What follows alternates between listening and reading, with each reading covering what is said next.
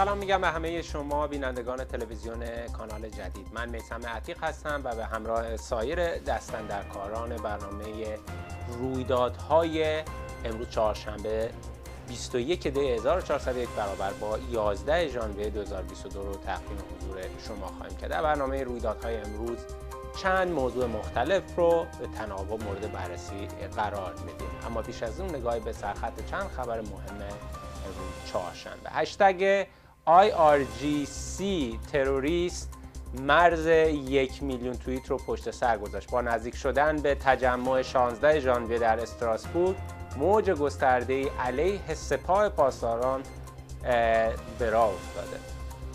اما شامپن بازیگر سرشناس سینما در مراسم گلدن گلوب گلدن گلوب با اشاره به اینکه برای به دست آوردن آزادی باید جنگید مبارزات زنان در ایران و افغانستان رو تحسین کرد.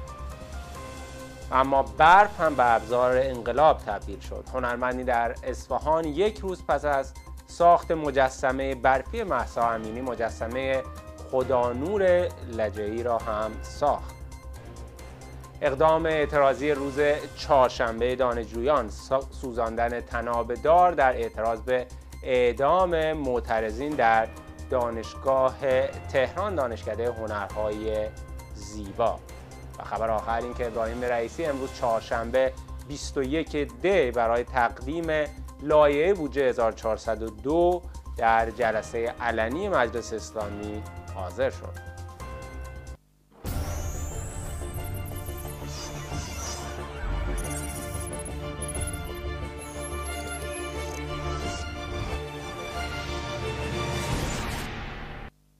در متن یک انقلاب تمام ایار علیه حکومت و چشمانداز فروپاشی کامل اقتصادی جمهوری اسلامی. ابراهیم رئیسی امروز چهارشنبه 21 دی ماه لایحه بودجه سال 1402 رو تحویل مجلس اسلامی داد. این بودجه گفته میشه که نسبت به سال 1401 حدود 40 درصد افزایش داشته. از جمله نکات عجیبی که ابراهیم رئیسی در این جلسه مطرح کرده مربوط به روند کاهشی تورم در بازار هست. گزاره که حتی آمارهای حکومتی در هفته های گذشته هم خلاف اون رو مطرح کردن. از طرف دیگه در صورتی که بیکاری یکی از بحران های عظیم جامعه هست ابراهیم رئیسی نرخ بیکاری در ایران رو 9 درصد اعلام کرد. برای گفتگوی بیشتر در رابطه با این خبر دعوت کردیم از شهلا دانشور دبیر کمیته سازمانده حزب کمونیست کارگری ایران.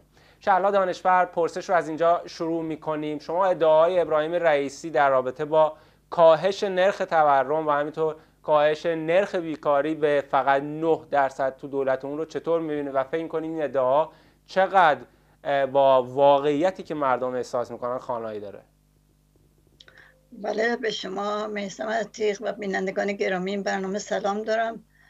خب واضح این ابراهیم رئیسی دروغ میگه مثل همه دیکتاتورها منتها ابراهیم رئیسی دیکتاتوری در مقابل با یک انقلاب انقلابی که مردم تو کف خیابان شعار می‌کردن فقر فساد گرونی میریم تا سرنگونی. و دارن جواب رئیسی و جواب مجلس و جواب همه اینا رو میدن.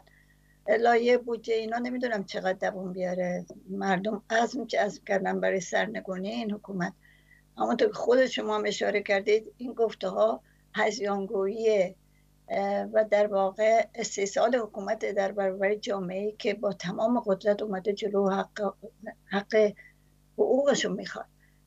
در این آمارهای هفته گذشته بود که ما شاهدیم بودیم که وزارت کار جمهوری اسلامی از اینکه خط فقر چهار میلیون نمی‌دونم در تهران هفت میلیون شده صحبت کرد. تازه همین وزارت کار تو سال 99 از خط فقر هفت میلیون صحبت کرده بود. یعنی اینا ارقامی که باش بازی می‌کنن. از طرف دیگه مرکز آمار گفته بود خط فقر 15 میلیونه. از طرف دیگه رسانه های جمهوری اسلامی گفته بودن 30 میلیونه. و شما اینا رو بذارید کنار هم دیگه ببینید تشتت چه در هم ریختگی. چه وضعیتی بر سر این حکومت اومده و داره و از اون برم نهایت وعده هایی که میده. 20 درصد افزایش حق اولاد. حق اولاد 470 هزار تومان میدن. خب 20 درصد اضافه بشه. این یعنی چی؟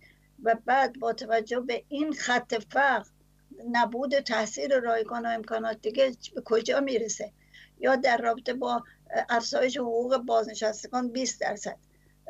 خودشون تو آمار همین اخیرا گفته بودن که بیش از 50 درصد بازنشستگان حقوق زیر 5 میلیون می‌گیرن. و حالا خط فقط 30 میلیون. فرض کنید که این 5 میلیون 20 درصد هم بهش اضافه بشه. یعنی بشه 6 میلیون.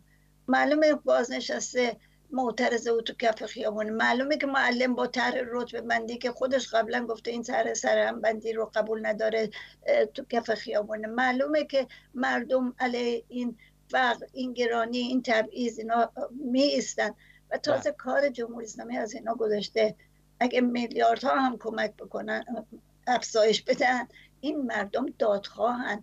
این مردم میرن تا سرنگونی. این مردم بله. پایان میدن به این وضعیت. این جواب مردم در رابطه با گفته اینا. از اشتغال صحبت کرده. میگه اشتغال ولی طرح استاد شاگردی رو دارن دوباره مزمزه می‌کنن بیارن بیرون. فعل محترم میگه مردم منتظر این طرحان؟ مردم میگه جواب جمهوری اسلامی رو میدن؟ مردم شب و روز تو خیابونن. جواب مردم همین اعتراضاتی که تو 18 دی بود. جواب مردم همین بیانی هایی که معلم میده بازنشسته میده. همین شورای هماهنگی تشکل های سمی فرنگیان تو بیانیه اخیرش علیه اعدام ها می‌بینیم میگه میگه اینا مردم رو ما رو آروم نمی‌کنه مردم رو عقب نمی‌زنه مردم بله. شورای سازماندی اعتراضات کارگران پیمانی نفهمید. شهرها دانشور پوزش می‌خوام صحبت شما رو قطع می‌کنم. هزیانگویی های حکومت. قطعا نکات زیادی هست که میشه راجبش صحبت بکرد صحبت کرد و حتما همینطور است. در بخش های بعدی بهشون می‌پردازیم. اما در شبکه های اجتماعی هم در رابطه با همین لایه بودجه 1402 خیلی صحبت شده. سعی هم به شبکه های اجتماعی می‌زنیم. مفادی که در این لایه اومده خیلی مورد توجه کاربران قرار گرفته. از جمله کاربری که می بخش هایی از متن لایه بودجه 1402 کشور رو خوندم. خودش یه فراخان جدا می‌خواد. حداقل حقوق کارکنان دولت در سال آینده 7 میلیون با توجه به اینکه خط فقر بین 20 تا 25 میلیون اعلام شده. دو سال افزایش سن بازنشستگی و همینطور افزایش 34 درصدی بودجه فرماندهی کل انتظامی و 78 درصد سپاه. البته این رو هم باید اضافه کنم. گفته شده که علاوه بر افزایش بودجه سپاه برای سال آینده 4 میلیارد و نیم از درآمدهای نفتی رو هم جداگونه به اون اختصاص میدن. و اما جای دیگه ای که همیشه پول رو روانه میشه اونجا یعنی صدا و سیما. کاربری اشاره به بخشی داره که صدا و سیما علاوه بر اینکه امسال 40 درصد افزایش داشته در بودجه که برای 1402 قرار دریافت کنه موارد دیگه ایران قرار بگیره. این کاربر می در حالی که حداقل امروز ما دو گزارش از تعطیلی صنایع و اصناف استان البرز یزد و مشهد به دلیل قطعی گاز و برق نوشتیم در لایه بودجه قرار 5 درصد از منابع حاصل از صرفه‌جویی یا بخونید تعطیلی صنایع به صدا و سیما برسه. کاربر دیگه هم در همین رابطه اومده مقایسه کرده. اون حقوق هفت میلیونی که مطرح شده برای کارمندان در برابر خط فقر 15 الی 30 میلیونی. اما برمیگردم به شما شهلا دانشور بسیار تکان دهنده است وضعیت اقتصادی که باهاش مواجه هستیم. همونطور که شما هم اشاره کردید خود ارگانهای حکومتی دارن میگن که یک ورشکستگی کامل در چشمانداز هست. فکر می‌کنید اوضاع اقتصادی که باهاش روبرو هستیم و جمهوری اسلامی عامل این هست در ماهای پیش رو چطور زندگی مردم رو تحت تاثیر قرار بده؟ بله روشنه. هر روز بقای بیشتر این حکومت فقر بیشتره کودک کار خیابان بیشتره بی مسکنی بیشتره. چه حجمی از مردم الان خونه هاشون از دست دادن و خارج از محدوده و بی خانمانی چادر نشینی بی مسکنی گورخوابی همه جور. ما می‌بینیم این روند همینطور افزایش داشته و با این آمارها حقیقتا تکان دهنده است. و یکی از موضوعات اعتراض جامعه اعتراض به همین فقر و فساد و تبعیض و نابرابری بوده. از سال 96 خیزش هایی که پشت سر هم روی داده تا امروز که می‌بینیم همونطور که گفتم فقر فساد گرانی میریم تا سرنگونی شعار مردمه و در این حال کنار این مسئله مردم می‌دونن که دیگه این حکومت حکومت ضد زن ضد کودک آدمکش جنایتکاره بله. و این وضعیت بنابراین چشمانداز این وضعیت معلومه که نابودی بیشتر معیشت مردمه. سال گذشته بود که خود بله. صندوق بودجه اختار داده بود به ورشکستگی اقتصادی حکومت. و تو این یک سال ما همین روند رو طی کردیم. و خود جالب خنده داره که رئیس میگه ما عقب نیستیم. بله عقب نیستن از اجرای جراحی اقتصادیشون. عقب نیستن در چپاول مردم. همونطور که اشاره کردید بودجه های کلونی به نیروهای سرکوب اختصاص داده میشه به نیروهای خرافه و مذهب اختصاص داده میشه. حقوقای نجومی سر جای خودش باقی هستش. دوزی و بله. اختلاس سر جای خودش باقی هستش و این وضعیتی که بر سر مردم هست. این رژیم اقتصادش داغونه. این رژیم ورشکسته کامله. این رژیم منتها یه مچپاولگر مافیای اقتصادی حاکم بر گرد مردم و مردم در مقابلشون ایستادن. و این انقلابیه که تداوم داره. بله یک سوال دیگه هم از شما دارم اما قبل از اون میریم می‌بینیم در روزی که ابراهیم رئیسی مدعی میشه که تورم در ایران کاهش پیدا کرده و روند بهتری هم احتمالاً براش اتفاق میفته ببینیم واقعیت جامعه ایران و شهروندان ایران اون رو چجور بیان می‌کنه. یه پلاستیک اینقدر دارو ما گرفتیم مریض شدیم. 600 هزار تومن آخه چرا تا کی؟ تا کی این ظلم و ستم؟ بفرم. یه چند تا قلم دارو بده خدا سرشاده بفرم. 600 اون بدبختی که نداره و چیکار بکنه؟ بعد میگن جمهوری اسلامی. آخه تا کی این بدبختی و این فلک؟ نمی‌دونم دیگه چی بگیم. دیگه والا شهلا دانشپر فرصت زیادی باقی نمونده. می‌خوام به این سوال بپردازیم که در رابطه با این شرایط چیکار باید کرد؟ خب طبعا انقلابی در جریان هست که یکی از شعارهای اساسی و کلیدی اون هم همون فقر فساد گرونی میریم تا سرنگونی به وضعیت معیشتی مردم اشاره داره. به عنوان یکی از خواسته های اصلی و یکی از نکات تمرکز اعتراضات در جریان انقلاب.